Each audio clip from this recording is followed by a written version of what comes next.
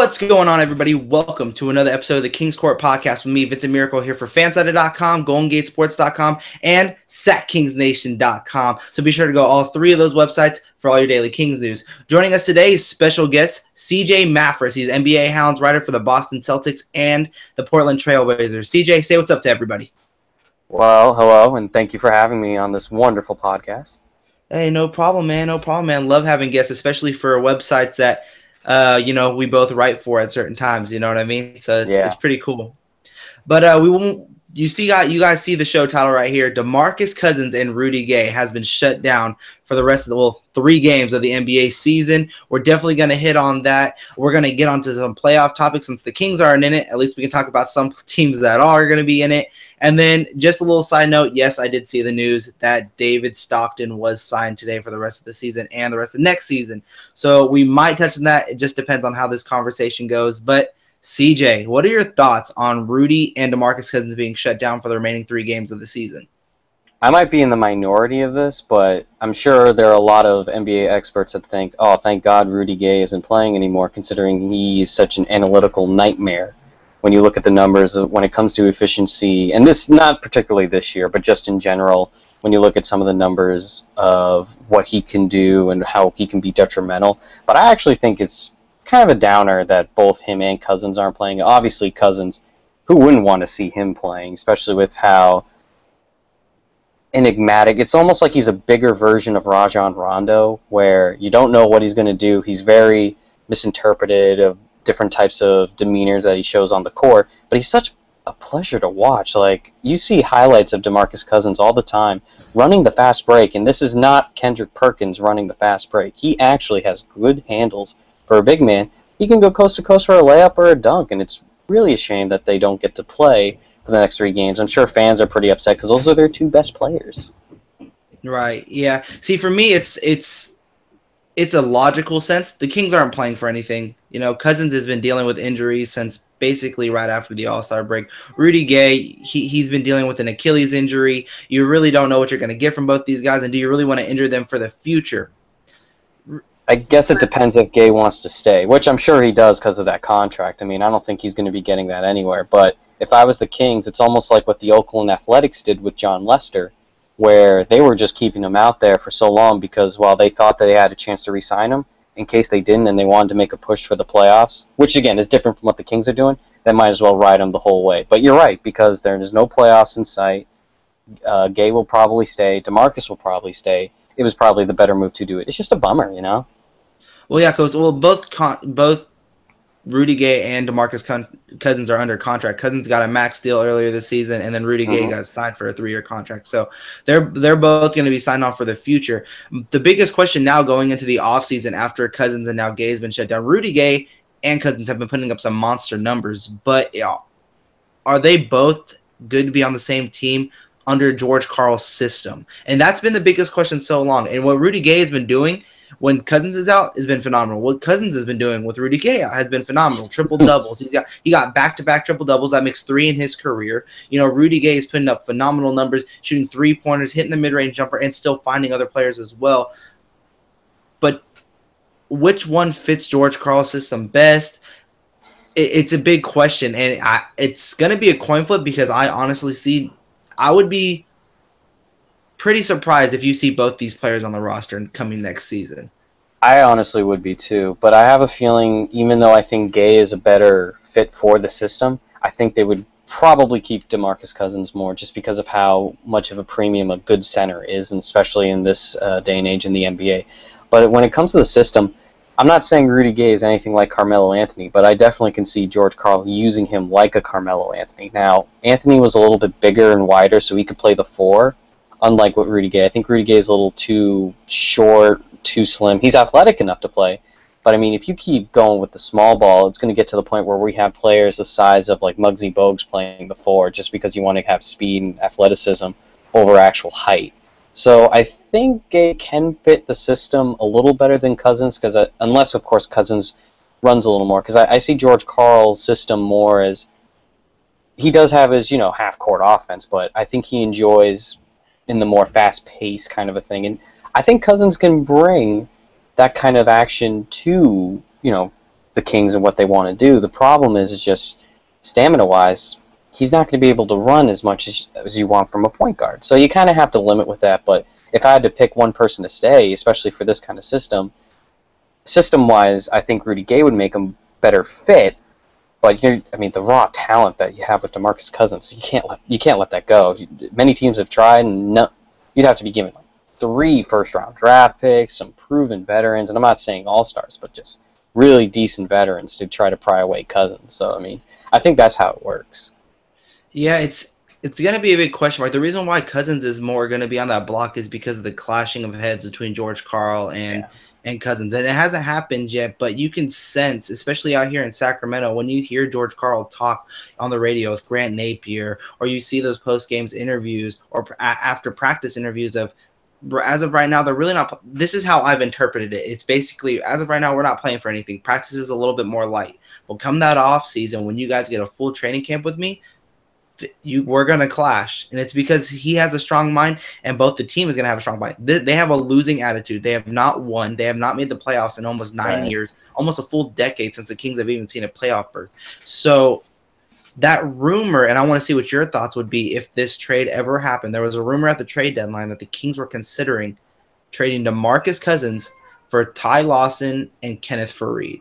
Now there might be other assets in there, but that would be a deal that I can possibly still see happening for maybe this offseason. What about you?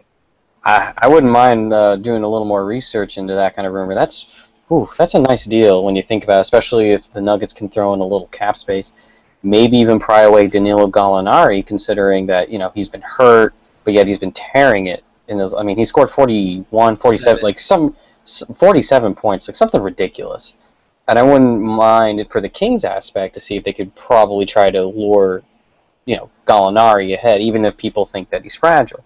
But it certainly would help the mold. It would be like a Peja Stojakovic type of thing. But you get your point guard with Ty Lawson, who's one of the better interior finishers, which is, you know, something that you need your point guard to do, and he would do that very well. And Kenneth Faried is just absolute energy. He'd fit perfectly in what George Karl would want to do, considering I believe he might have actually coached him in Denver. I'm not quite sure. I'd have to look up uh, when George Karl left because he was. Got his, I think he got his rookie season with. He might have. So for, wasn't it for Reed and JaVale McGee at one point, and then after that season, yeah. coach of the year that's when they left, or it might have been the season before that. I don't know. So obviously, Faried would be able to fit into that kind of system perfectly. Mm-hmm.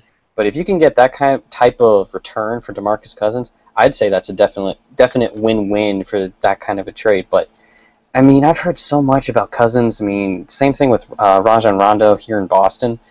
It's it's so hard to move, especially for the these good kind of deals. And Cousins is still hasn't hit his prime. He's going to grow, and he's going to be even better. Yeah, and and you bring up Rondo. That's another thing too. That's another possibility. The Kings have been rumored about Rondo since early off season last year or this year, going into the season by trade deadline. Like they have been linked to Rondo. He's going to be an unrestricted free agent. Most say he's going to re-sign with Dallas, but there has been you know battle of heads there too between Rick Carlisle and Rondo. I mean, there's that little whole video yeah. of them arguing at the bench and then him being benched the whole game. You know what I mean, or for the rest of the game. So there's that link. So maybe they bring in Rondo, but then what happens to Darren Collison? What happens to Ray McCallum? There's so many. There's so many loop. There's so many missing links into this team that you really don't know what's going to happen, especially with the Kings. Who are they going to draft now? I mean, yeah. what do you pick up if you don't? I don't, lose, I don't see a, Cousins? I don't see a savior in this draft class. So I mean, it's almost like, eh, what, what's the point of drafting? Um, I think if Rondo doesn't sign with Dallas, which is a good possibility, just he seems to have killed his momentum. I could, if let's say Rondo doesn't perform well in the postseason with Dallas, and Dallas is like, you know what, it just just isn't going to work as much as Mark Cuban wants it to. He goes, he might sign a one-year deal with Sacramento to prove his worth. Because if it's going to be a bidding war between the services, it's going to depend on teams with the most amount of cap. Kings. I don't think it's going to be a bidding war. I, I don't think so either, but he wants to believe that. That's the key. He wants to have that, and if it comes to who has the most money, it's between the Knicks and the Kings. I mean, there are other teams that have just as much, but I could see those two at least wanting to gauge the interest to see if they would want him. And I'd see him go to Sacramento instead of New York personally. I mean, who wants to go there right now? Greg Monroe, but that's a different story for a different show. That's unconfirmed. I mean, people are saying that it's going to happen, but I'm like, the season isn't over yet. I can't, I can't trust that yet. But I have heard. I can trust it. I can trust it. Detroit. If you guys watched the NBA Hounds podcast last week, I even said it. I said they burned Detroit burned the bridge. They kept Josh Smith too long. They tried to make yeah. three big men's work, and it didn't. You know what I mean? But that's that's a different show for a different podcast. but. Uh, back onto the Rondo stuff. The the biggest thing for Rondo is he's admitted that he's taken defensive off now. He yeah. he's shown that he needs to have the ball in his hands to be to, to be to be fair with player. that comment. I am a Rondo supporter, so you can you know put that kind of you could put bias to this. His words were kind of taken out of context, where there were it was wasn't that he just wasn't playing defense, although numbers would suggest that he wasn't. There were certain games where he would be a little more lax and take off because of Avery Bradley trying to prove his defensive uh, prowess. But I, I, his defense has taken a hit. I will say that. But ju- I want to 2011 Rondo. Where's 2010 oh. Rondo? Where's that guy? Uh, I'm, I think that ACL injury, in all honesty, is still kind of haunt. I mean, Derrick Rose just had a good performance. I believe it was last night where he like assisted on 19 of potential 40 or total like four, he helped the Bulls get around 41 points in like 28 minutes, kind of thing. I think it's still kind of taken a while for him. As much as he wants to deny that the ACL injury is affecting him because he is a Warrior, and he, he beat the Heat in one playoff series with a broken arm, really. But exactly, I, I, yes. I still I still think that the ACL is kind of kind of affecting him a little bit. But you're right, his defense has gone is gone. And people forget about that too. People forget about how he, that he did have an ACL tear. You know what I mean? People mm-hmm. forget about that because he's forget that he has such that he's like the Kendrick Perkins of point guards, that mean mug where it's just like, oh, he must be fine because he always looks at that. It's like, eh, I don't know. I, honest, I honestly don't know if he's 100% mentally there, but we'll see. When the playoffs come, he usually shows up for primetime stuff, and maybe he be able to rise his stock. But I say if he doesn't, and Dallas like ends up losing in five games, maybe maybe swept or whatever, um, I could easily see Rondo going to Sacramento for a one-year deal. You know, kind of like what the NFL does to try to revitalize a career. Does that help? No, but I say that'd be the Kings since they have been linked to him. Would be the best time to try to like at least get his services for one year, then maybe try to be like convince him, saying, "Look, it, we got something good here. Hall of Fame head coach who is like third in all time in wins. DeMarcus Cousins. You'll love DeMarcus Cousins. You two are the same person. You're going to fight everybody. And Rudy Gay will get more points, so it's like you don't have to worry about shooting as much. You can just pass the ball. He'll, he'll take the open shot or contested shot. He'll take the shot. yeah, see, so with me, I wouldn't do it one year. I think if I was the Kings, my offer would be three years, 24 million with a player option in the third year. Oh, that would be, be, my offers. That's not a bad deal. That's not at all. You get, you get You'd want million, to take it, yeah. You get eight million you get a point guard. You're going to have to overpay for Rondo. Even if you can't hit a free throw, you have to overpay for a point guard that can pass the ball. So, I mean, and that's what they want. They want someone who can push it. Rondo can push it. And to have, I honestly think it would be nice to see a backcourt tandem of Darren Collison and Rajon Rondo. Oh, that does sound very nice because Collison, as much as I didn't agree with the contract, he actually pretty he performed pretty well for his contract before he got hurt, didn't he? Yes, he did. Yeah, yes, like he did. He, he used to so. start. Oh, what was it? It was either Dallas or Indiana where he was actually starting. Was and like oh, he no, did Indiana, he was starting, and then he took over in Dallas for a couple yeah, of games. Like, and he actually did pretty decent. Now, the money he was being thrown, I was kind of like, whoa, whoa, whoa, that's a little, that's a little much, uh, Sacramento. I know you're the new owners are trying to impress the fans, but I thought it was a little much. But he actually performed very well for the kind of money that he was getting. Yeah, I, I, I think uh, two because I, I still think Rondo has defensive potential. I think he really is one of those players that when he's locked in, he's locked in. And I think oh, if, yeah. he get, if he's a, around a group of guys and you get Rudy Gay, Darren Collison, and of course DeMarcus Cousins all to buy into this system. And I, and I think the biggest question is always going to be DeMarcus Cousins. And right. if you bring in Rondo, that's going to throw in another wrench to it because Rondo's going to need the ball in his hands. Rondo's going to need to be the guy to do something with anything on any team. He's going to have to control the ball. And I think Cousins likes to have the ball in the low post more than anybody else.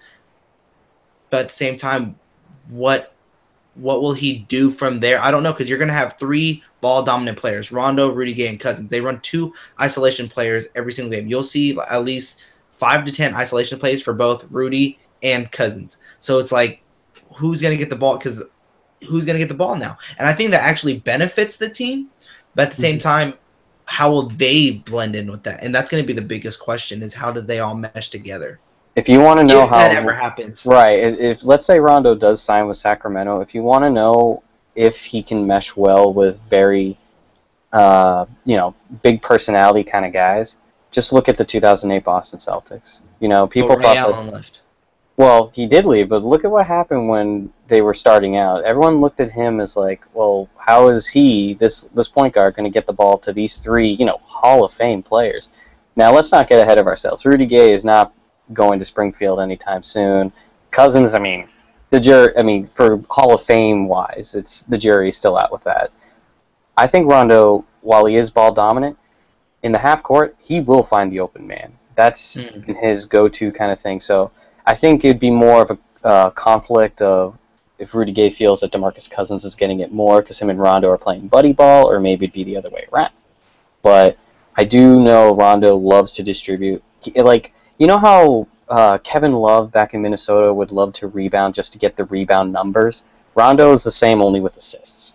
And yeah. while assists might benefit a team in you know offensive efficiency, getting more points than the other team, it can be just as selfish and, and just as detrimental for a team, just as with Kevin Love with Minnesota with the rebounds. So it's kind of like that, but uh, it could work if, you know, Karl being Doc Rivers level, and I know that Doc and Rondo butted heads almost every day, probably like three times a day, but you but there's still that, a lot of love between those two guys. You, absolutely. You to, if you talk to Doc Rivers about Rondo, that's like the they have that little brother mentality for him. I even KG and all of them, they have little brother mentality for Rondo. I believe they still text each other too. But yeah. um, I, you're telling me George Karl couldn't, you know, convince Rondo to buy into his system and to like try to move into the way that he wants him to? He George Karl is more of a player coach. You know, he's not going to butt heads, or at least he shouldn't.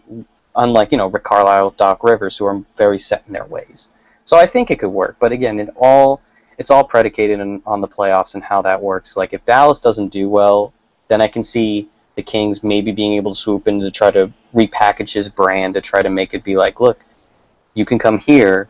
Maybe people won't notice, maybe people will, but it's a way for you to show that you are a top five point guard in the NBA and try to get back to that level. I think it'd be a better shot at him repackaging and, and rebranding himself in Sacramento than in New York, if, since New York has been linked to get him too. I think that'd be the smartest business move, but it, it really it depends on him. All right, again, guys, this is the King's Car. I'm here with CJ Maffris, the NBA writer for HoundSports.com. You, this show, you already know, is sponsored by the Quality Shop. For quality clothes at a quality price, go to the Quality Shop located in downtown Roseville. We will be doing a live show there, so be sure to tune in and follow me on Twitter at VM Center to find out when. And also, we will be giving away sweaters with this logo on it as I pull it up right here. Yes, so this will be on the show. The, we're going to be giving away sweaters with that logo on it. Sac Kings Nation sweaters. We'll be giving that away very, very soon. So be sure to find out how to win with that. Again, follow me on Twitter at VM Center. All right, I kind of want to move into another subject here because you hit me up on Twitter about this, and I didn't get to talk about it on my last show. But I know exactly where you're going. Castillo. Oh yeah. Okay. You're a fan of it. You're a fan of the nickname. You want him Absolutely. in Boston.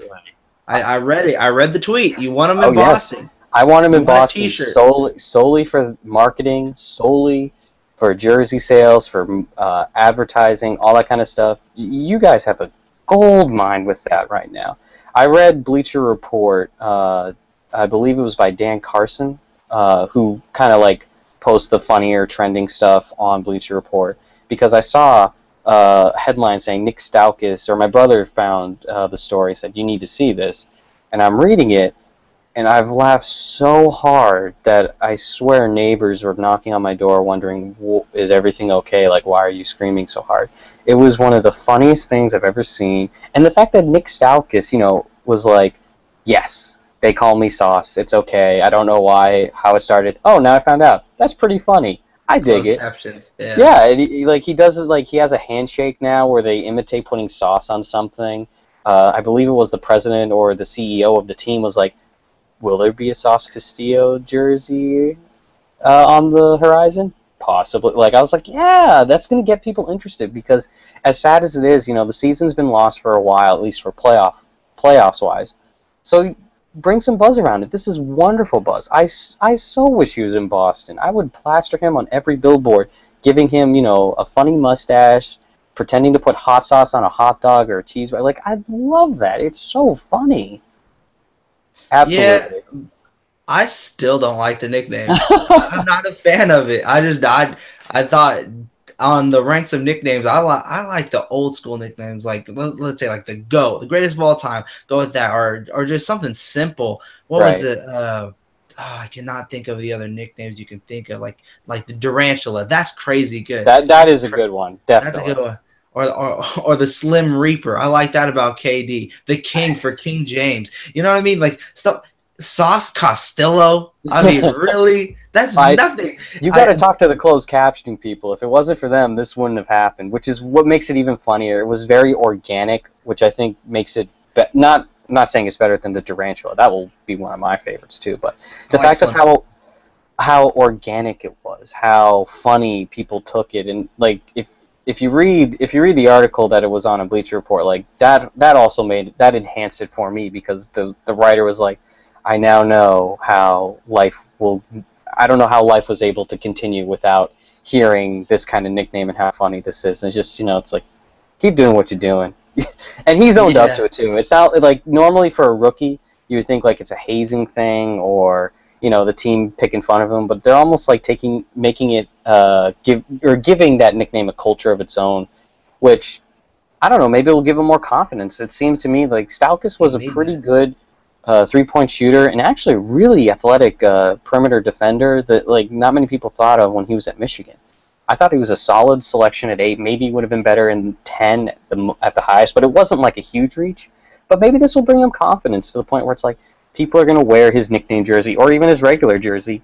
They'll be there for bobblehead nights with his nickname, with him dressed up as whatever. Like it, it, it can be said how much confidence can really help a player. A lot of people say with quarterbacks in football half of or 20% of it is actually you know ability and the other 80 is just how confident you are. And if you just feel like oh you know 35 down i could i could get us get, get us back in this game. I'm the quarterback. They feel like that's uh, a big contributor of how good a quarterback can play. So i think the same thing can go with Stauskas and i so hope he's able to continue on his career not burn out. I really do especially especially because of the nickname. I, I would definitely want a, a Sauce Castillo jersey if I get one, I'll send it to you just because I would have never want to put it on. I, can, I don't. I don't want no Sauce Castillo on my back. Oh my but God. I do like it that when he does score, they go sauce. That's what they yell. they go sauce. That's my awesome. favorite. The, my favorite gif of all of it is when you see there's a picture of him like holding like like one of these like the fingers holding signs, but they changed it to where he's wearing the Tabasco sauce. Like yeah, he puts on his mustache. I think that is hilarious. That one's funny, but I don't want to have that on the on my back. I would never. If I get a T-shirt, I'll give it to you because I really don't. I'll send me your email or send go, me your go, uh, address. I'll mail it to go, you. Go to one. Know. Go to one where it's a free giveaway. That way, it's like, oh, it's that was Sauce Castillo night. Yeah, they gave yeah. away free T-shirts. Yeah. So if I ever get one, I'd I'd give it up. I would not oh. want it. Oh, I'm a, I'm a friendly. I'm a giveaway type of guy. I'm friendly. That's awesome. You, you'll have me as a contributor as much as you as much as you want now for that. All right, guys. Well, since the Kings aren't in the playoffs, you know, I still kind of want to hit on it on this show. So let's kind of jump onto the two teams you mainly cover, being an NBA writer for Hound Sports, and that's the Portland Trailblazers and the Boston Celtics. And let's start off with the Boston Celtics since we were talking about Rondo. There's a player out there that is a former King, Isaiah Thomas, arguably six man of the year this year. That's completely up for debate. Arguably. Arguably, Jamal Crawford. Jamal Crawford is still right. nice here.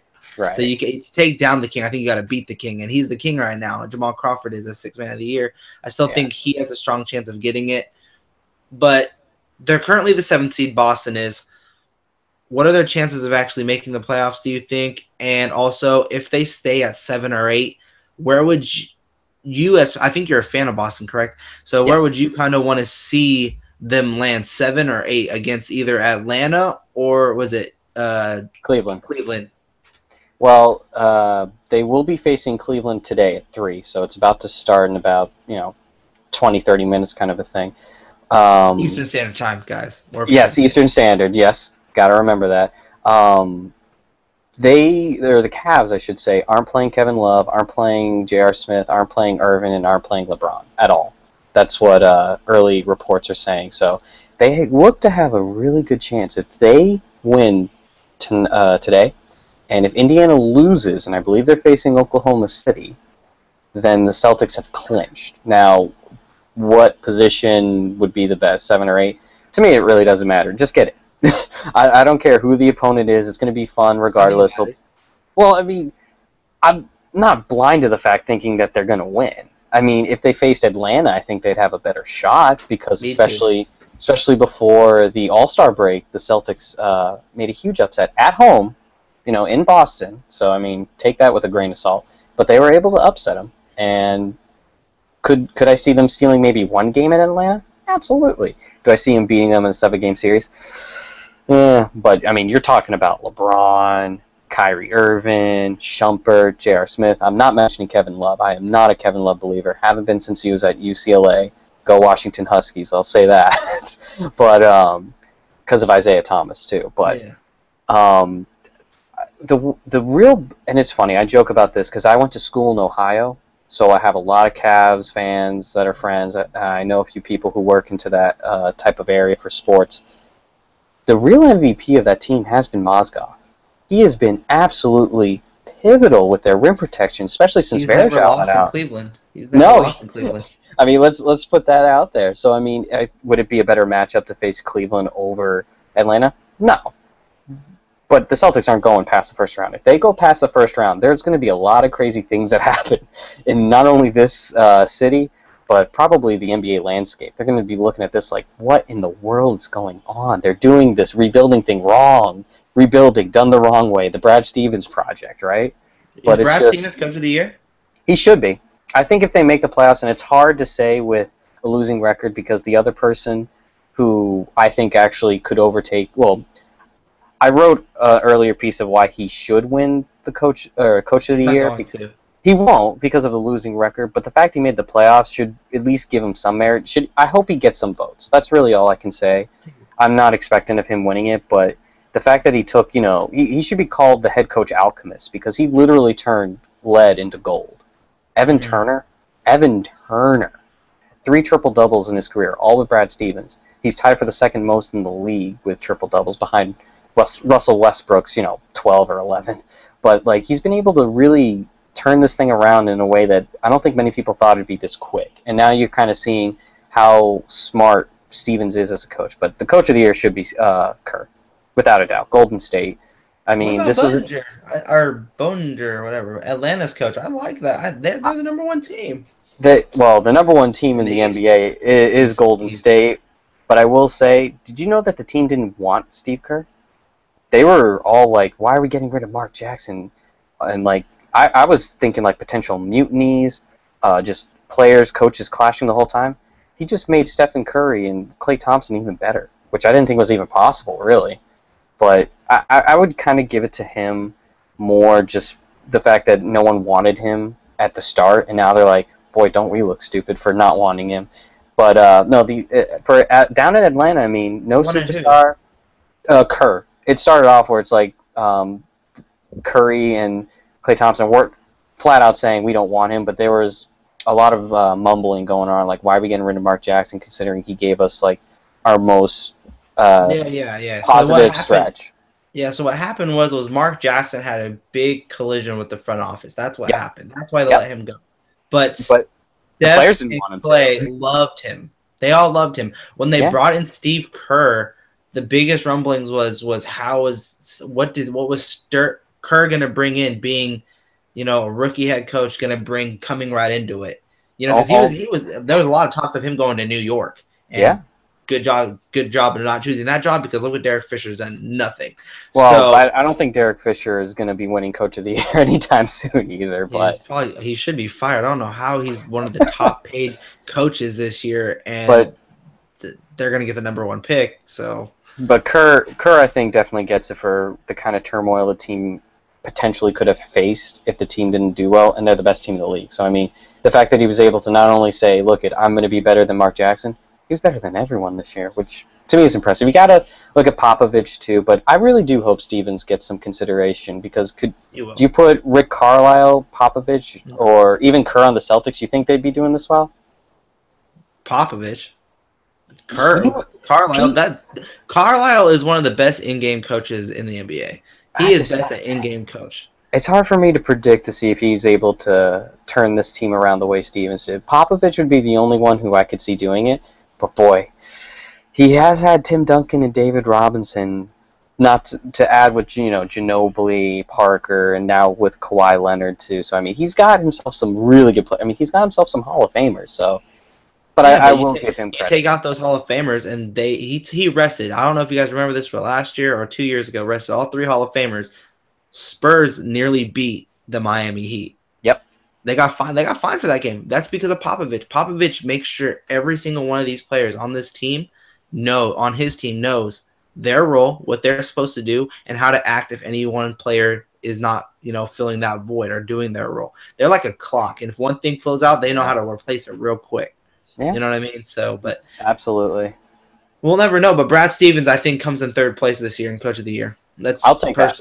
He takes third place. That he's gonna get. He's gonna get votes. There's everyone is put on notice, especially Bill Simmons has been putting it on notice that Brad Stevens should be put on for Coach of the Year. He's not Funny. gonna get it. It's gonna be a coin flip between Kerr and uh, Bud. I can't pronounce his last name. Is it Budinger or Budinger or whatever his last name? I'm I'm not even gonna try. Ownheiser. I know. Funny thing about Bill Simmons, actually, considering we're both obviously fans of the teams in this area, we share the same birthday. Oh, that's kind of cool. Yeah, I, I was a little taken aback. I was like, oh, that explains almost half of the things I do.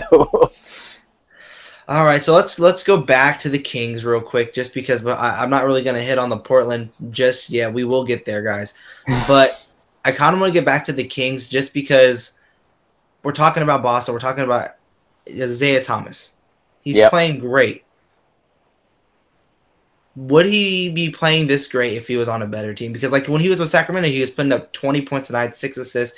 He goes to this to the he should have started in Sacramento. He was start- yeah, but he came off the bench. He was starting. Then he averaged 20 and 6. They had three starters averaging 20 points a game. Hasn't been done Yep. in years with Rudy Gay, Cousins, and Thomas. Now he's in Boston coming as six man. I think he's averaging like the same numbers 21 and 6 right now. Uh, if you combine his uh, time with uh, Phoenix, it would be the same, but I think he's averaging around 16 points with Boston, which is, oh, not complaining whatsoever, but I, I do think it's a little lower. And again, he was hurt too, so. So if if you're looking at it, is it is he scoring this much and being this efficient because it's I mean, let's be honest, Boston is still a bad team. Yeah. They, they, they have a bunch of Jae Crowders, Evan Turner, Kelly Olynyk. I mean, th- Okay, you got me with Olynyk. I like the first two you mentioned. Jay Jae Crowder is nice. He's young. He's improving, but he's he's he's nothing special. You know what I mean? Like no, no. Yeah, I mean, no, he made I the NBA. He's special. But Evan Turner, you, it's Evan Turner. We we just established that earlier, I mean, you you you take what you can get with him, definitely. right? But you you do have pieces. I, I like Marcus Smart. I think he's going to be keep keep on improving. I like Jared Sullinger. I like what they've been doing with Evan Turner. Jae Crowder, I mean, he's a work in progress still, but Isaiah Thomas is their closing guy. Yep. You know what I mean? He's the guy that he's going to score. He's going to shoot as many times as he wants to. You know, but is he doing this because he's on a bad team? Like, if he was on a good team, would he be doing this? Well, I mean, I guess you can look at it. Maybe he's at the same caliber as Jamal Crawford. You know, I mean, he's on a great team, and look at the numbers he puts up. He does very well. I think he gets a little more leeway with the teams that he's on because he's so offensively gifted. Like one of his greatest assets is uh, pick and roll offense. You know, whether it be dishing it to the big guy or whoever's giving him the screen, or whether he just takes a shot right at uh, right after using the screen. Like he's one of the best at that. It's been a treat to watch, especially this year. But I mean, he's been an offensive closer. You know, like fourth quarter. You know, ball in his hands. He's trying to get the team to win. He's been like that since college. One of my favorite NCAA uh, moments, which it wasn't. I, I actually don't think it was in the tournament. It was the Pac-12 championship, where Isaiah Thomas nailed a buzzer beater, where you hear uh, Gus Johnson just say "cold-blooded," and that was it. I mean, that, that Mhm. explains Isaiah Thomas to a T. He just, I think, because of uh, his height in basketball, uh, really puts a chip on his shoulder, saying, "I can play here." And by far, he's one of the best little guys I've ever seen. Like people talked about Earl Boykins, Nate Robinson, and I like them too. You know, I like them a lot. They weren't. I don't think they were anywhere close to what Isaiah Thomas brings to a basketball team. Nate Robinson can dunk, and he's very exciting, and I loved the energy that he brought to Boston when he was in there. But but it's just, yeah, exactly it's the same thing. Like I think Thomas is much better. So put him on any team. Put him on the Spurs. Put him on uh, Memphis. Oh, Memphis would love to have him to come off the bench. Are you kidding me? They would love off his the shooting. bench, but is he a, off the bench? That's what we keep saying. So he's not a starter. Oh no, I think he could start. I'm just saying for his role right now. Uh, if you want to put him on a good team that needs a point guard, why not swap him in Dallas for Rondo? I can't see why. Monta Ellis would have to have. I think they sh- they temp. We can keep going back to Dallas, but Dallas tempered with the best offensive team. They had Monta Ellis basically running point and having Jameer Nelson and all those other you know fill-in point guards. They were doing very very well offensively. I think you put the ball in another person's hand. Isaiah Thomas needs the ball in his hands as well. Probably not as much as Rondo, but he can at least knock down a three. So that's that's a little different. well, if you want to pick another team, look at New Orleans. I mean, Jrue Holiday hasn't really panned out the way that they would want. I would. Tyreke has. Well, I mean, Tyreke doesn't exactly play the one, and he is more of a ball dominant three who can play the one. He's he's like Evan Turner, where it's like you know you're six eight, six seven, but you you have the handles of a ball handler. So why not put Isaiah Thomas there, who at least if he isn't as ball dominant on that kind of type of roster, because I mean we all know the star is Anthony Davis. So why not have you know Tyreke take away a lot, take some of the ball handling stuff away? But you're telling me you can't find Isaiah Thomas for uh, you know Ray Allen type of role, being able to shoot. As long as he can shoot and score a lot of points and drive to score points and shoot free throws, because he gets fouled. Oh boy, this guy gets hammered a lot. he does. He gets hammered. But I mean, um, you you can put him on there. I, I definitely could see. Like, let's say you just straight up put Isaiah Thomas on uh, New Orleans. That team is definitely not fighting for the eighth seed. That's for sure. It's funny that we keep bringing up names. We're bringing up Tyreke. We're bringing up, you know, uh, Isaiah. We're bringing up Monta, who was rumored to come to. Like all these players were like either on the team or rumored to come onto this team, and they get put on different teams and they're succeeding. Tyreke Evans won Rookie of the Year. Goes the goes to New Orleans and now is putting up numbers, and he's he's been running the It took point, him a while, though. forward.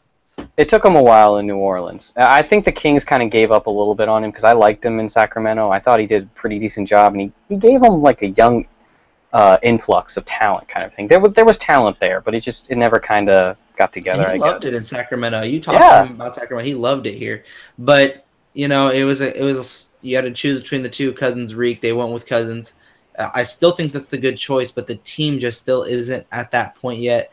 Where w- what are they gonna do next? There's still so many like power forward. They do they want to get a stretch four? Do they want to get a shot blocking center? Which Cousins is very much improved on. He's been protecting the rim very well this year, con- Mhm. considering his averages. But do they want a shot blocker behind him and move Cousins to the four? What do they want to do there? They don't even know. You know, a forward position, they have Rudy Gay, but they've been trying to move him down to the four spot and then having Omri Casspi play the three. You know, so it's they really don't know what they want to do yet. They don't have an identity yet. And I think that's what they brought George Karl in to make an identity, but they just don't have it. And it's just weird to see Isaiah Thomas I think would fit in this perfect system of what they're trying to go for with Karl because of how fast he moves. Tyreke, again, another player who I think if he comes in here, how fast he can move up and down the floor. He's like a blur, you know what I mean? And how he Yeah. can get into the paint with his Euro step. Like they would be perfect fits now. Now I know some of these moves were made, like Tyreke was made during the Maloof era, but Isaiah Thomas was made in this new new new regime era. So I, I think we all have to take this with a grain of salt because we haven't seen Collison in the system either. He's been injured, so Yeah. and he's out for the season. So Who have to is take it right now? Right. We all have to take it with a grain of salt, but I mean, it's still just a disappointing fact that we don't get to have these players that are just suc- succeeding so well in other areas and other teams Yeah. to not have them back on the team. Like, why couldn't they do it here? And that's always just a big question. That's always a big question with any with any player wherever they go. But all right, guys, let's move on back over into the the playoff race because I do want to get your thoughts on Portland. Just a quick little you know, one-two hit on them, everything like Yeah. that. But uh, I asked this on the NBA Hound show, and that's with Wesley Matthews. What happens with him? He's he's gonna does he is he gonna resign? And he's not gonna be for a max deal like he's hoping for now. He was max deal money before the injury. At least I thought so. I thought New York was gonna offer that to him or LA. Now with the injury, I mean, that's going to drop considerably. I, I don't think it will. I think a team's going to give him the max. I really do. Max money? Wow. He was having his best season on on you know everything. His shooting was better. His defense was immensely better. Look at Portland right now. Why aren't they going to be winning a title this year?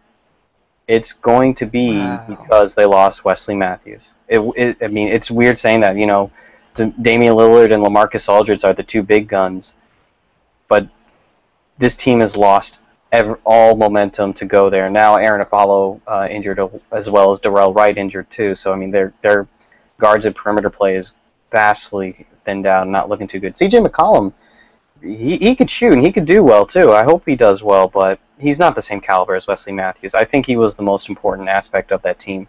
Don't like everyone talks about how the Spurs are so automatic. You look at the chemistry that uh, Portland was playing before this uh, before the Wesley Matthews injury. It was just as good, if not better. They really knew, but I think nice. no, I, Wesley Matthews, he will get max money. Someone will overpay. Do I think he's worth it? He's close. He's so close, but I don't. I don't think I would give him max money. But I, I the, Portland can't pay that. Goodness, no, I can't. I can't see an Achilles injury It won't be For- Sacramento. for- don't worry.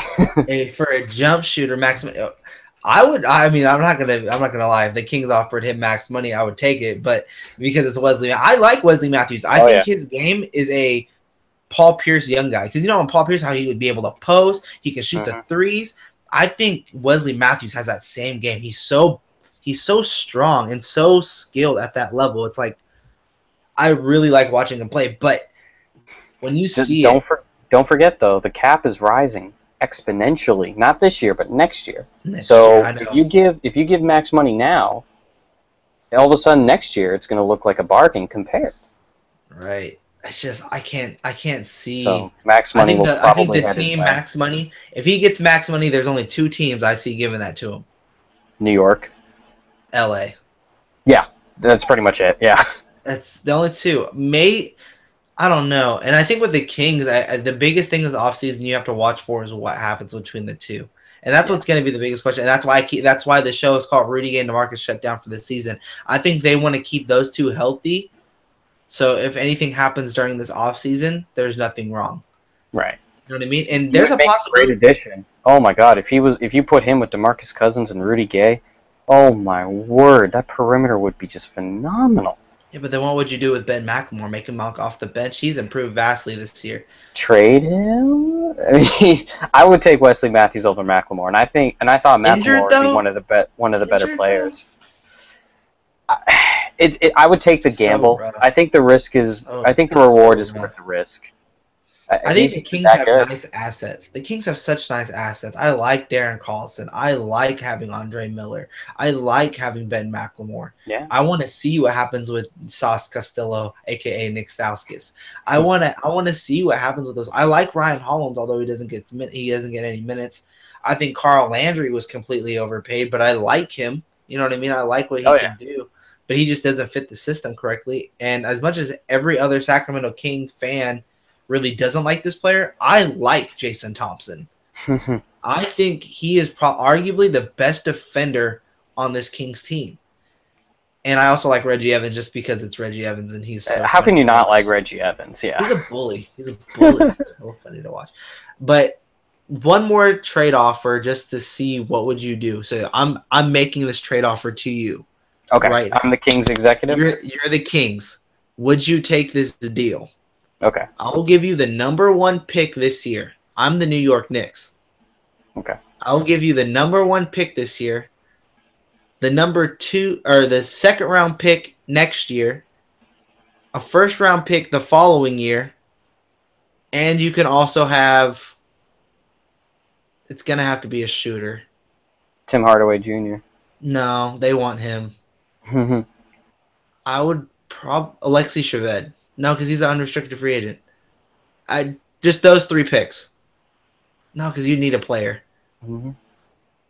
Those three picks and a player. Let's go with Tim Hardaway Jr. Would you take that deal For who? for Cousins? No. Three. No. You get two first rounders. You get Jahlil Okafor, I, or don't, I think Cousins will be better than Okafor. Will ever be personally. I think Cousins is such a rare skill set, Dude, so it's that's, like that's, this is or the we year. do a three-way trade deal. I, just, I, I see the Kings making them. This ownership group has had everyone flipping and flopping because they don't know what I would. I would say this: if you could promise uh, 2016 first first overall pick, I would con- seriously consider that for Cousins. Whoever gets that, Ben Simmons. So so back to back first, and then Well, no, no, second. no. I, I'm just I'm just saying, like, if somehow you could promise the Kings getting 2016 first overall pick for Ben Simmons, but it would cost you Demarcus Cousins, I would seriously debate that. Now, I probably would keep Cousins because he's such a rare talent, but boy, Ben Yeah. Simmons. If you haven't seen, you know, some of the games that he's been playing with uh, Team USA scrimmages and uh, McDonald's All American highlights, you should look him up. He did pretty well. He wasn't the best person out there, but he's the only one who's NBA ready now. All right, guys. Well, that's our show for the day. Leave you guys' comments in the comment section below. Let us know what you guys think. Well, do you guys who do you guys have going for? Is it going to be Rudy Gay? Is it going to be Cousins? Which ones will be moved? Or do you think we're going to see him next season on the same team? I, if t- personally, if I had to give it over under on, uh, I would start it out at sixty percent. That's my over under. Do you do you go over or under? You see them on the same team at sixty percent. No, Over- I, I'd, be a little higher. I'd say probably 85%. Okay, see, I'm gonna I'm gonna hmm. go with 70. I'm gonna go I'm gonna go a little bit over, but the over under is 60 fans. So you put your guys' over unders in there. It's at 60. 60% chance one of them is gonna be moved. Now you guys leave your comments in the comment section below. Put your down your over unders. Put down who you think is gonna be moved, or if you think we are completely crazy. All right. Also, let us know what you guys are going to be looking forward in the playoffs. Do you guys want to see Isaiah Thomas make the playoffs? Do you guys want to watch Boston in there? You know, your Portland Trailblazers ideas. You know, CJ, tell them where they all can find you so they can get all their Portland Trailblazer, Boston Celtics, and all NBA news from you. Uh, well, you can follow me on Twitter at CJ Maffris, and it's spelled out C S E A J J A Y, then my last name Maffris. I retweet all kinds of reporters from Boston and Portland, so to keep you up to date. As well as you can find me at Hound Sports. I write for Portland and for the Boston Celtics, so feel free to follow me there. And if you want up to date kind of news from those teams, I'm more than happy to retweet and give you information. All right, guys, and you guys know you guys can find me on Twitter at VM Center, writing for SacKingsNation.com, GoldenGateSports.com, HoundSports.com, and all things like that. Although, actually, I'm not really writing for Hound Sports anymore, but that's a little side note. I don't know if you knew that, but it's kind of true. I kind of don't write for them anymore. That's why they don't sponsor the show anymore. But, anyways, that's on a different note for a different type of thing. So, that really is a side note for behind the scenes type of stuff. But, anyways, guys. Thank you guys all for watching. Leave your guys' comments in the comment section below. If you're not a subscriber yet, hit that subscribe button and be a good friend and hit that thumbs up button. All right, until next time, Kings fans, bye bye.